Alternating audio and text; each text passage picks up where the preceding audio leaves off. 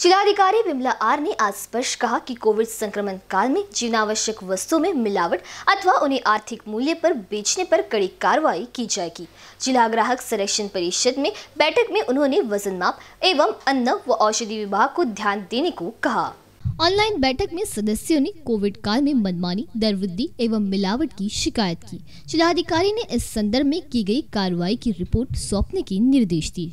ग्राहक संरक्षण समिति की बैठक प्रत्यक्ष करने एवं सभी को पहचान पत्र देने की मांग की गई।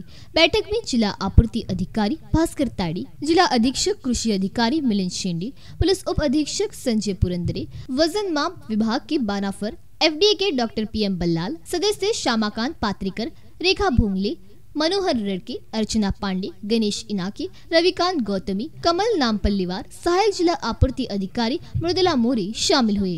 कैमरा पर्सन अखिलेश भारद्वाज के साथ अभिषेक पानसे बी न्यूज़ नागपुर।